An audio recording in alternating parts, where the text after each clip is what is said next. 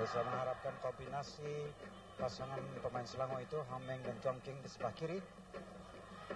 Nasir. Tandokan yang baik dari Nasir tetapi tak dapat beri teman. Namun demikian Dalah Saleh. Cantik betul Dalah Saleh gerakan yang baik. Cuba sendiri jauh-jauh. Cantik gol. Dalah Saleh. Gol pertama saudara penonton. Setelah permainan berlangsung 4 masa yang kedua ini. Dalah Saleh dengan sepakan yang datang. Yang berpasangan dengan Zainal Abidin sebagai striker Malaysia pada malam ini. Dan telah mendatangkan hasil yang dinanti-nantikan. 1-0 sekarang, Malaysia 1, Korea 0 dan semangat mula berkemuncak. Penonton yang telah